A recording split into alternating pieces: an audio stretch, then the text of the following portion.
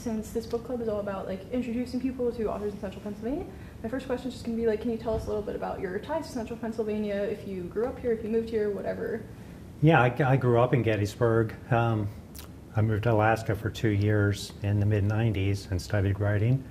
Um, but yeah, I, I, grew up in Gettysburg, just a few miles outside. I went to all the Gettysburg schools, high school, graduated Gettysburg High School in 81.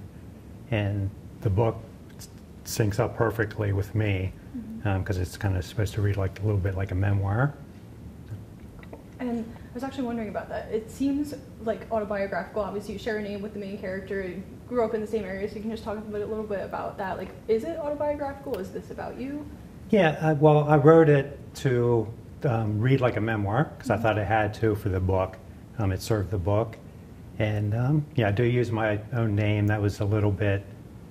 I went back and forth on that because it's my name, but you know, I got a wife and children too. Mm-hmm. So, um, but they were cool with it.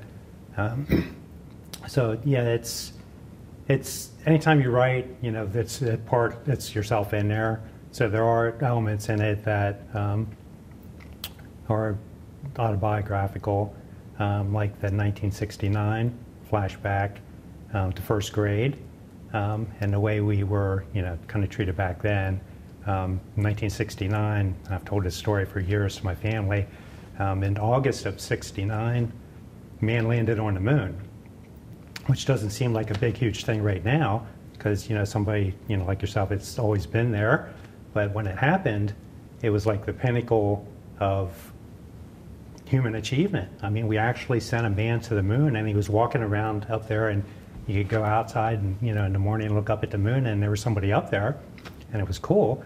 And when I started school just a few weeks later, um, we were kind of, the boys were kind of like, um, held to the standard of the Apollo astronauts almost, um, like in, this, in, the flashback in the story. Um, you know, we were held to like, you know, if you, back then there was no such thing as preschool, and you know, very few kids went to um, kindergarten.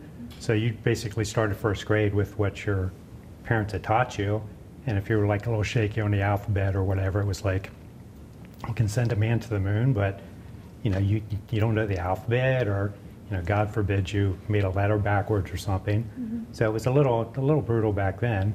And that is my remembrance of it. Yeah. Interesting. And so going off of that, you don't have to tell me if you don't want to, but that story is real. Is the last scone story real? No, because uh, my dad was um, in food service, but my, my wife and I um, made our living for years as a farmer's market vendor selling our baked goods. Mm-hmm. So that's where I drew a lot of that stuff. But no, that story is not true. Not true. There's a couple stories in there that kind of have elements of truth in it, mm-hmm. but overall, it's not. You know, I wrote it like a memoir, and um, I think it kind of worked because I had people who knew me my entire life read the book, and they'd be like, um, "I don't remember any of this happening." you succeeded then. Yeah, yeah, it worked. Like, maybe, it worked. maybe it did happen. yeah. That's awesome. Um, and maybe this just goes back to like you were saying about growing up here, but why did you choose to make the setting like Gettysburg, Pennsylvania? Well, because I grew up here, and um, for years I was part of the Gettysburg Farmers Market on the square, which is um, kind of uh, where that takes place. It's not the, the same farmers market because one didn't exist back then, but I, I know the area, and nobody has ever really written. There's tons of books about Gettysburg, you know, but they're all Civil War books. So I really truly think that this is the only published novel set in Gettysburg that's not, you know, Civil War centric. I will say that did grab our attention. I forget. I think you might have said that. You reached out to Allie or something, and yeah, like, "It's not yeah. a Civil War book," and we are like, "Oh, interesting." yeah, because it's it's a great location, and it's the most famous little town in America. But nobody's ever thought to set a book there that's not, you know, something to do with the Civil War. Yeah, fly under the radar a little bit. Yeah. we actually were wondering if we were passing the battlefields on the way here. We were like trying to look at the map. yeah. Um, but so obviously, like a lot of this novel comes from just you and your experience and everything like that. Was there any like research that you had to do to put into it?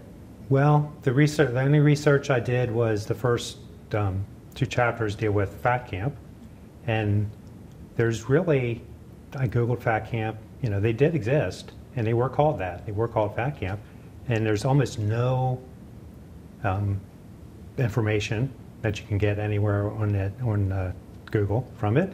Um, most of them were up in New York, and really the only thing I got that I could use in the book and was the, the diet that the kids were fed.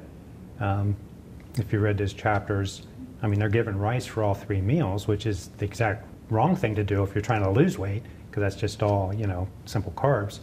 Um, so, yeah, that, that's the one thing I actually did research on. Yeah, the that and the single slice of peach. I read that. I was like, Yeah. oh my gosh! Like I can't imagine that being my yeah, meal. Yeah, and it's, it's so horrible because these kids were set up to, you know, it's kind of a shameful thing in our past, Mhm. um, but they were kind of set up to, to lose. You know, the research I did do said basically it's the same kids back every year because they just, you know, exercised them and fed them peaches and rice and, you know, a small amount of protein, and they would lose weight. But, you know, as soon as you got back home, you're going to gain it back, you know. So. But um, mostly now it's it's it's genre stuff because people always come up, well, what genre is this? And I it's a, I tell them it's a romantic comedy because I got to say something, but it's not really a romantic comedy because It's a good description though. Good answer. Yeah, it's funny in that there's romance in it, but yeah, but it's um, not what people expect from a romantic comedy usually Yeah. because they're always written from a woman's point of view Yeah. and they always have the happily ever after, and they got all these different things that you got to hit on certain pages. Like Yeah. page three, it's got to have this. Page five, it's got to have this. They're kind of formulatic. But um, I wish I could write like that, but it's just not what interests me about writing. Yeah. You know, I just like getting the idea, and I like um, putting things together. It sounds more fun that way almost. So it gives you a little bit more freedom. Yeah, I mean, because because you, you're never going to get rich. Um, like I had a publishing contract for that, but I tell people it's not life changing money. It's not even week changing money. So it's easiest to write where you just make yourself the main character because then you know you got at least one consistent character in the book. Um, so that's that's me, not the events, but it's my sense of humor, and it's um, you know that's you know pretty much how, how I am. So if you read the book, you would know me. You would feel you knew me personally almost. And um, I always like to have a best friend in the book because a lot of books are about romance. You know, that's fine, that's good, and this book is too. But people miss out on the best friend thing. So um, his best friend, I needed a character to come in at the beginning and um, be kind of a little bit weird, you know. So he came in, and his name's Wayne in the book, which was my, my brother's name, and um, he he was only supposed to be in the book the first couple chapters, but like oftentimes when you're writing a book, you, you create a character and they just keep muscling their way back into the book. Because either they're so much fun to to write, or they got something the book needs, or the book takes a different turn, and then you need that character. Um, so anyway, Wayne was supposed to drop out, but um, he muscled his way back in. You know, so he's there there to the end. Yeah, I was just uh, got through the his date with Angela, and I think we hadn't seen Wayne for a little bit, and I was like, oh, like Wayne's still here. Hey, Wayne. Yeah, yeah, I had to go, kind of go back in and backfill a Yeah. little bit because I kept him into the end. But Yeah. same thing happened with my first book. Um, I just brought one character in because I needed somebody to tell a story, and then he was such a such a so much fun to write that he just he forced his way into the book. That's so fun when they like sort of like get a, their own little life like that. Yeah, yeah, it's um, they they almost become like real people to you. Mhm. And when you're done writing, because you spent I spent three years on each book, you kind of miss them. Yeah. They don't exist, but you miss them anyway. Yeah. You know. And then the third character is um, Bree. Um, she's in it the whole way through. Um, where you're at, she's kind of dropped out, but she'll be back. Um, and she's I'm, I'm not giving anything away. She's the character that you're rooting because everybody who reads the book tells me they're totally rooting for um, Jim and Bree to get together. Mhm. You know, so it- it's foreshadowed the whole way through. So it's it's not giving away the ending. Yeah. And are you mentioned that you have a brother? Is Wayne reminiscent of your brother? Is Trez reminiscent of your brother? Uh, no, probably the most reminiscent person in, in the book is the father character is like a composite of my dad, where everything is overblown. Um, And he did look like William Shatner when he was young. I mean, you might not know who William Shatner is, but Captain Kirk, you know, Oh, Star okay. Trek, right? So he does look, you know, remarkably like him in these younger pictures. But that's the character, and I put a little bit of myself in there because I'm a dad.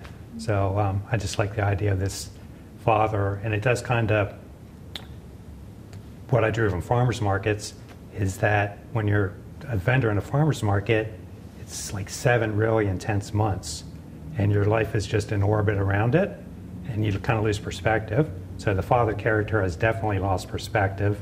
You know, he's, um, you know, over the top. Yeah, the like when they were packing everything up and shutting down the bakery, I like felt that emotion. Like, oh, Yeah. like, this guy really doesn't know what to do. And Yeah. I can't blame him. Yeah, and then he's uh, has his tent, which was you know back in even the early '90s, farmers markets. A lot of vendors didn't have tents because you didn't get these cheap pop-up tents. They were something you had to assemble, which you couldn't do, you know, an hour before market. So it was painful to him when he had to basically trade the um, tent that set him apart for you know a wheelchair. Yeah, symbol of his whole business. Yeah, yeah, it's it's painful. If you're in business and things don't go well or whatever, your entire body's and soul and heart's tied up in it. Yeah, definitely. Kind of like being an author, I guess. Yeah, yeah, definitely.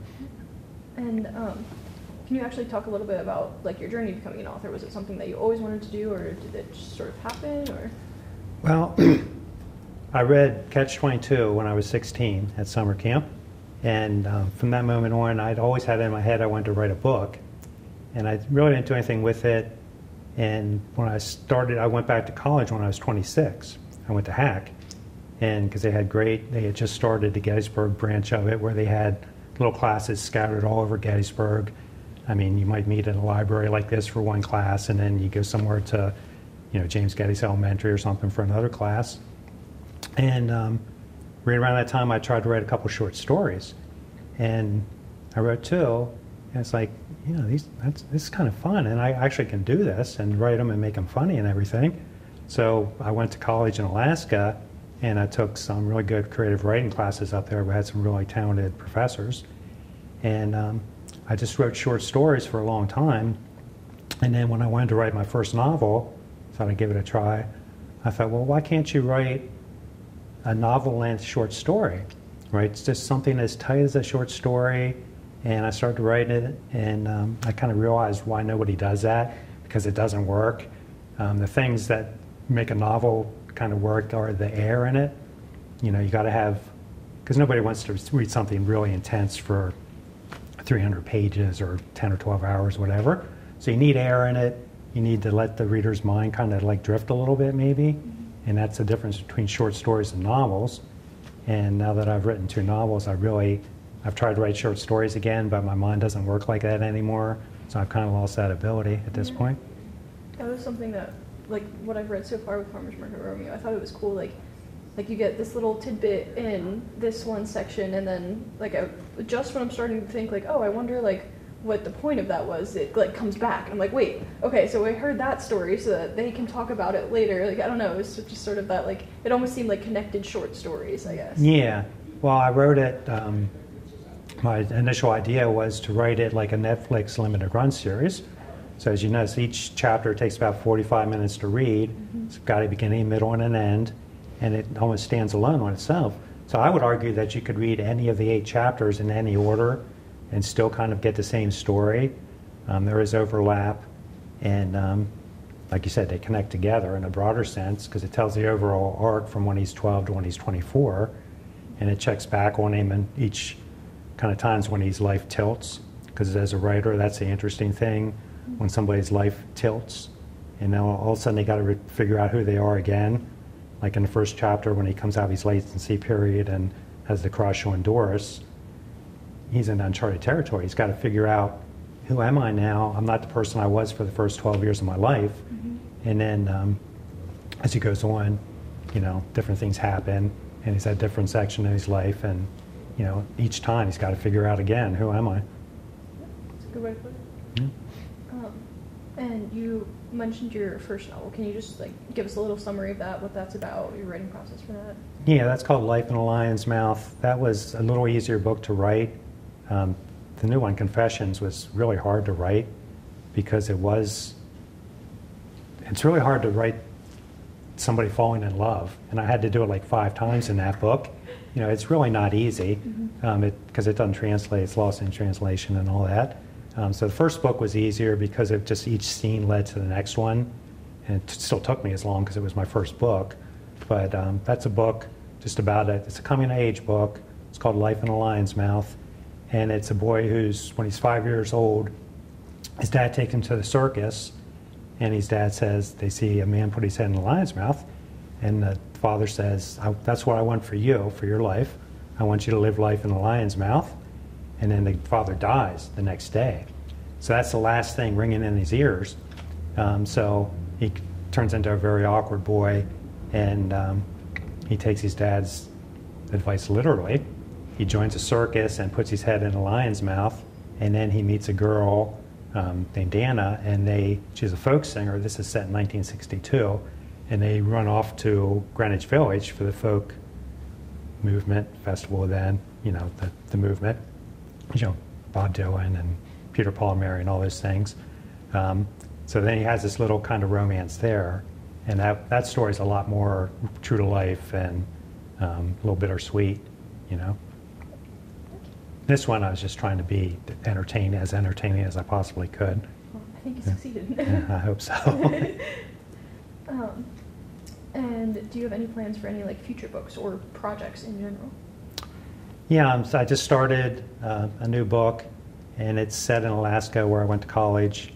Um, it alternates chapters. One's in 1990s, which is when I was up there, and it's um, kind of goes around the, the theater world. Or- There's a really cool. I went to Juneau.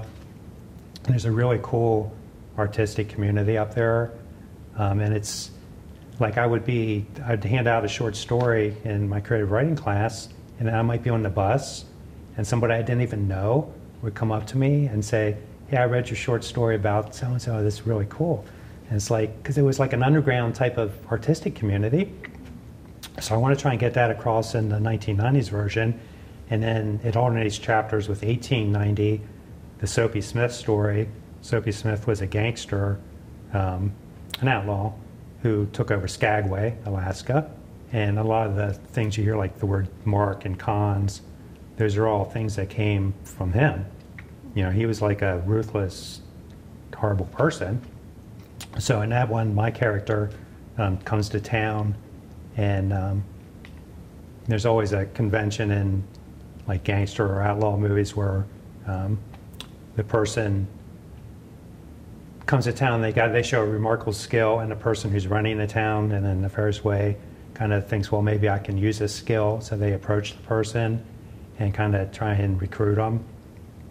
So in this case, um, the person's my character's remarkable skill is that he understands Plato's The Allegory of the Cave. So that's um, what draws Soapy Smith to him because he was an intellectual, even though he was kind of a scummy type guy. But when he was younger, he was from a very affluent family and he studied Shakespeare and all this stuff.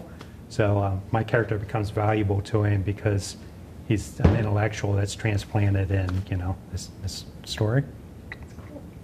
And then the two stories kind of start um, affecting each other, and then it has a twist at the end. That's um, pretty cool, I think. I'm excited to read it. I honestly I love those stories and it's like you think it's two separate plot lines and it's like oh wait it's not. Yeah, yeah. Yeah, it was interesting. Um, I think that was all that I had. I don't know if there's anything that you wanted to add, or just anything that you didn't get to say that you wanted to. Uh, can't really think of anything. That, that went quick. Gabby? Good. Um, basically, why would you tell somebody to check out the book?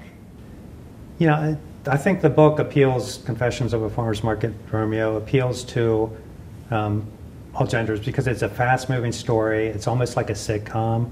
Um, it's set in Gettysburg. And if you're from Gettysburg or, you know, most people from around here visit Gettysburg, you would, you would recognize a lot of the, the landmarks. And it's just a fun little story that takes place there. And it's um, fast moving, whimsical story that you can read, you know, pretty quickly. Um, you know, you, sometimes you have the same customers for years and years, and you, they become part of your life, and you become part of theirs. and you get these wonderful chances to administer to them or them to you. Um, I had one, one time I was on a square in Gettysburg, and a woman came by our stand, and I said, how, how, you, how you doing? Never seen her before. And she goes, well, I'm, I'm dying. I'm going up here, I'm walking up to the lawyer to um, make, the, make the preparations because I don't have anybody else, Wow. right?